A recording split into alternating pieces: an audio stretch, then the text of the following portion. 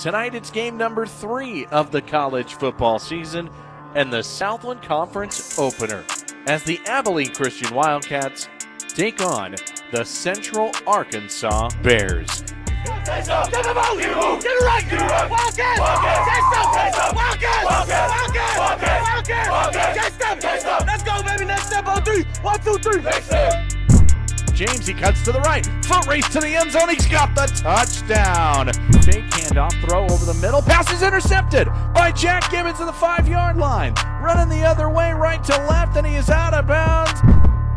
Snap play action. Nowhere for Breylin Smith to go. It's Cole Burgess with a sack. Uh, Breylin Smith and company. Pressure coming. Blitz. He steps up and down he goes. Ball's out. ACU jumps on it. It's Wildcat football. Anthony, time to throw. Looking deep down the field for Josh Fink. Man covered, and he catches it anyway. Snap to Anthony. He hands it to Tracy coming right. Makes a cut. Broke a tackle in the five. Walks in for the touchdown. Pressure off the edge. And Smith is going to go down at the 45 yard line. Snapper David Stone. Holder Gabe Ortega. The kick is on the way. The kick is.